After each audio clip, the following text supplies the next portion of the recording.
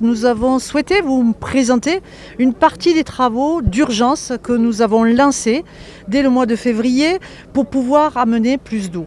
Donc euh, nous avons défini un programme de travaux d'urgence à travers plusieurs opérations. Vous en avez vu quelques-unes aujourd'hui, à savoir de la régénération de forages pour pouvoir délivrer plus de débit, de l'équipement de nouveaux forages, ce que nous avons pu voir aujourd'hui pour pouvoir amener plus de débit, des travaux de surpresseurs un peu partout sur Dakar pour pouvoir amener l'eau jusqu'à certains réseaux qui en manquent, et euh, des maillages, des travaux de régulation de pression.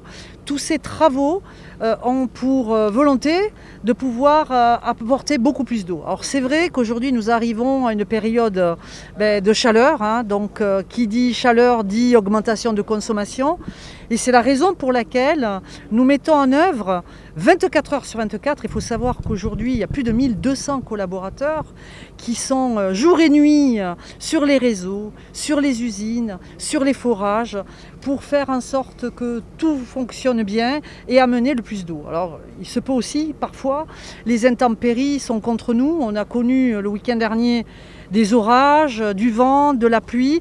Eh bien, comme on a beaucoup d'installations électriques, mécaniques, électroniques, eh bien, euh, il arrive parfois aussi qu'elles sont en panne.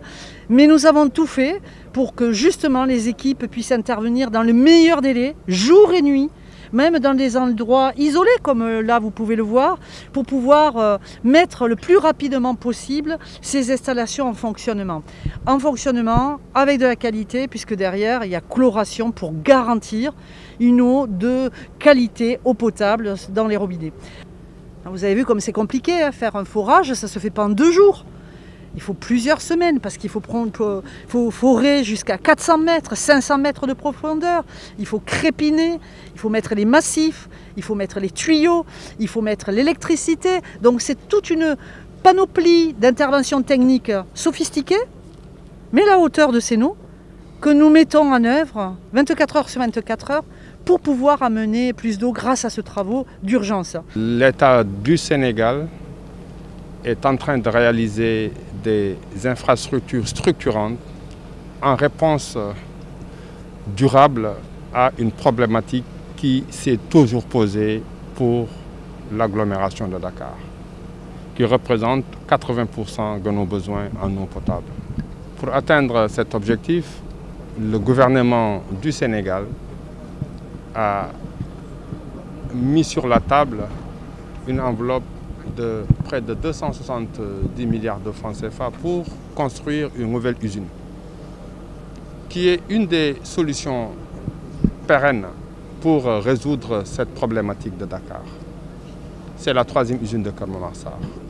L'essentiel de l'alimentation de l'eau qui vient à Dakar nous prévient du lac de guerre. Pour moitié, c'est des forages qui sont entre Kébémer, le littoral en général, Thiès, Pout, Pout Nord, Pout Sud, Kiren, Kotan et qui arrive à Dakar. Depuis près de cinq ans, l'État du Sénégal a augmenté de près de 42% la production d'eau.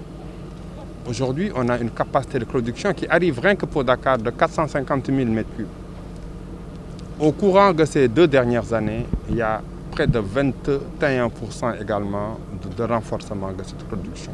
Le gouvernement du Sénégal a décaissé près de 5 milliards de francs CFA exclusivement dédiés à des programmes d'amélioration ou programmes de consolidation même de l'alimentation en eau potable de Dakar.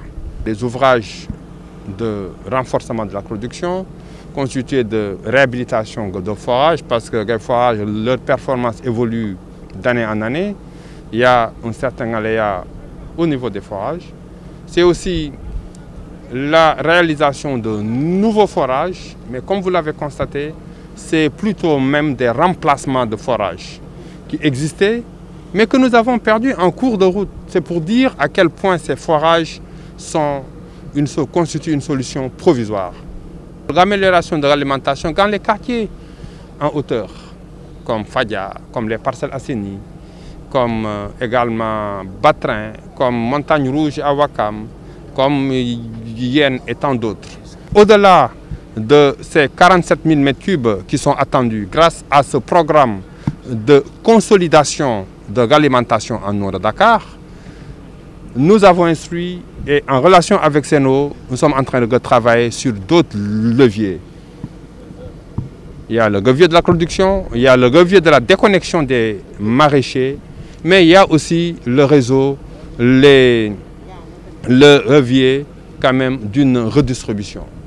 Il faut faire en sorte que l'eau profite et toute cette capacité de production profite aux populations de Dakar. Nous ne ménagerons aucun effort afin que la situation s'améliore.